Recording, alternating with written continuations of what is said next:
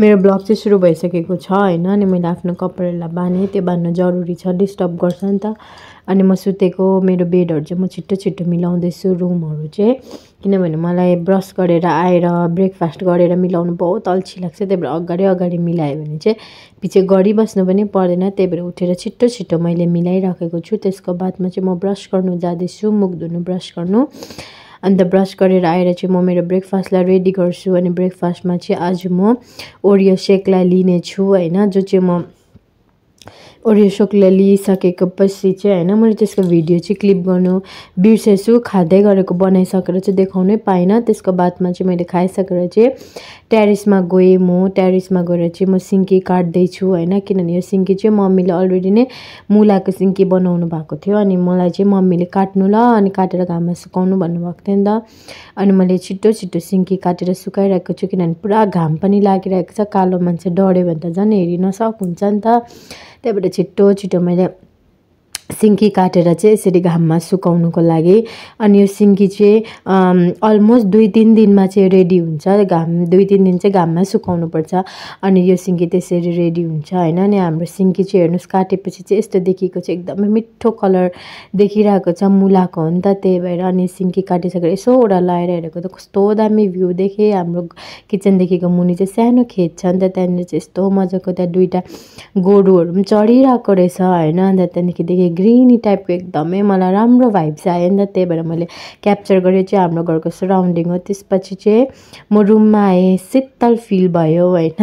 अनि त्यहाँदेखि रिल्याक्स भयो त्यहाँदेखि यसो फ्रिजमा हेरेको त कोक रहेछ। अन्त मैले त्यो कोक चाहिँ पिउनुको लागि आफ्नो ग्लासमा हालेँ अनि कोक चाहिँ मैले पिएँ तपाईँहरूलाई पनि चेयर्स गरेँ होइन? अन्त मैले चाहिँ कोकलाई पिएँ। अनि पिउँदै त्यही खाना पनि खाएको थिइनँ। अब खाना खानु पऱ्यो भने बेलुकाको माम चाहिँ एक्लै छु अल्छी लाग्यो नि त। अनि बेलुकाकै मामलाई चाहिँ एकदम चानाहरू हालेर मजाले भुटेँ होइन? अन्त त्यहाँदेखि मजाले माम भुटेँ त्यहाँदेखि अन्डा पनि फ्राई गरेँ। आफ्नो लागि एक्लै त जे खाँदा पनि भइहाल्छ होइन? मान्छे हुँदा पो अब पकाउनुपर्छ। अन्त काम पनि गरिसकेर बाह्र बजिसकेको थियो। अन्त त्यहाँदेखि मैले यसरी मेरो मामलाई रेडी गरेँ अनि त्यहाँदेखि चानाहरू मजाले हालेर मलाई चाहिँ पुरा मनपर्छ नि त चाना हालेर आलु हालेर भुटेको माम चाहिँ सागहरू हालेको मलाई पुरा मनपर्छ अनि रेडी भइसकेर चाहिँ मैले यसरी प्लेटमा आफ्नो प्लेटमा हालेर चाहिँ मैले खाना पनि खाइसकेँ। खाना खाइसकेपछि मलाई मम्मीले बारीबाट टमाटर टिप्नु ल भन्नुभएको थियो नि त पाकेको पाकेको टमाटरहरू। अनि हेर्नुहोस् मेरो हाम्रो टमाटर चाहिँ यसरी पाकिसकेको छ एकदम कुहिएको पनि छैन एकदम फ्रेस छ होइन। अनि यो टमाटर चाहिँ मैले टिपेँ अनि कतिवटा कुहिएकोहरू थियो एक दुईवटा अर्को बोटमा त्यो चाहिँ मैले टिपिनँ अनि टिपेँ। मम्मीले चाहिँ बारीमा एकदमै क्याबेजहरू रोप्नु भएको थियो बन्दाकोपीहरू ब्रोकली अनि फुलकोपी र ब्रोकली चाहिँ हामीले अलमोस्ट खाइसक्यौँ अब यो बन्दाकोपीहरू मात्रै रहेको छ यो चाहिँ खाएको छैन। सानो छ नि त पानी कम्ती भएर। अन्त यो त रब पनि राखिरहेको छौँ पानी हाल्दै हुन्छ एक दिन त खाँदा हुन्छ नि भनेर होइन।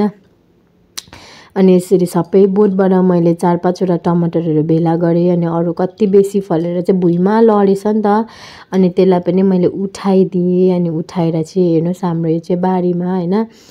अनि त्यहाँदेखि उठाएपछि चाहिँ मम्मीले डल्ले खोर्सानी पनि टिप्नु नि भन्नुहुँदै थियो। अनि डल्ले खोर्सानी चाहिँ अब जिङ्रिङ्गै परेको बोट थियो अनि त्यो कुहिएको हुन्छ नि त अहिलेको डल्ले खोर्सानीहरू चाहिँ। अनि मैले त्यो चाहिँ टिपिनँ अनि मैले होस् टिप्दिनँ भनेर चाहिँ टमाटरहरू नै थिएँ। एक दुईवटा त्यही टिपेँ होइन। अनि मलाई चाहिँ टमाटर बिना सब्जी मन पर्दैन नि त। अनि मम्मीलाई थाहा छ त्यही भएर मैले टमाटरहरू टिपेँ अनि टिपिसकेर चाहिँ अनि के गर्नु अब राख्नै त पऱ्यो होइन अनि यसरी मम्मी पनि बारीमै त्यहीँ काम गर्दै हुनुहुन्थ्यो अनि बात गर्दै गर्दै टमाटरहरू टिप्दै थिएँ पाकेको टमाटरहरू कोही कुहिरहेको थियो। अनि एकदमै मलाई चाहिँ फेरि यसरी हुन्छ नि टिप्नु चाहिँ पुरा बेसी मनपर्छ। अब रोप्नु त सक्दिनँ होइन? अनि टिप्नु चाहिँ मनपर्छ मम्मीले।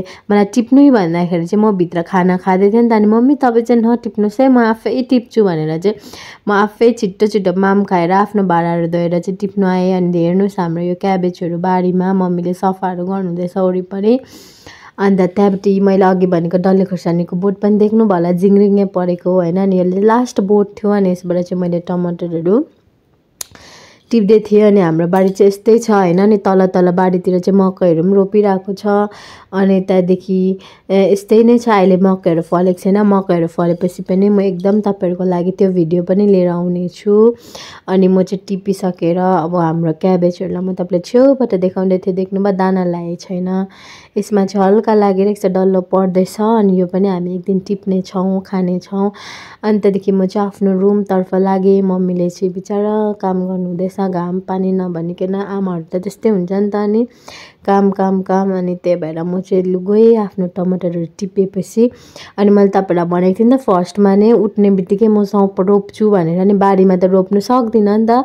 त्यही भएर चाहिँ मैले पटहरू रेडी गरेको थिएँ अनि त्यसमा चाहिँ मैले सोप लिएर होइन सिड हुन्छ नि हामीले त्यो सिड पनि खाँदा त हुन्छ। तर मलाई चाहिँ उयो नै खानु पत्तै खानु मन थिएन। त्यही भएर चाहिँ मैले यसलाई रोपिरहेको छु। अनि अब यो रोपेर जब उम्रिन्छ म तपाईँलाई यसको पनि भिडियो म बनाउने छु तपाईँहरूलाई म देखाउने छु। सर्ट भिडियोमा भए पनि लङ भिडियोमा भए पनि म तपाईँलाई देखाउने छु। अनि म चाहिँ बारीमा गर्नु सक्दिनँ नि त। तर एक दिन एक दिन त गर्नै पर्छ। यत्रो बेसी बारीहरू छ होइन? अनि त्यो गर्दाखेरि पनि म तपाईँलाई एकदमै देखाउने छु। सधैँभरि त अब नगरी पनि हुँदैन। एक दिन त गर्नै पर्छ। तर अहिले गर्नु नपरिन्जेल चाहिँ एकदमै यसरी नै हो। अनि गरेपछि पनि तपाईँहरूले अवश्य नै देख्नुहुनेछ। मैले बारीमा काम गरेको काँटा खनेको पनि तपाईँले देख्नुहुनेछ र अहिलेसम्म चाहिँ गर्नु परेको छैन होइन? अनि म गर्ने नै छु। Okay guys bye bye thank you for watching ल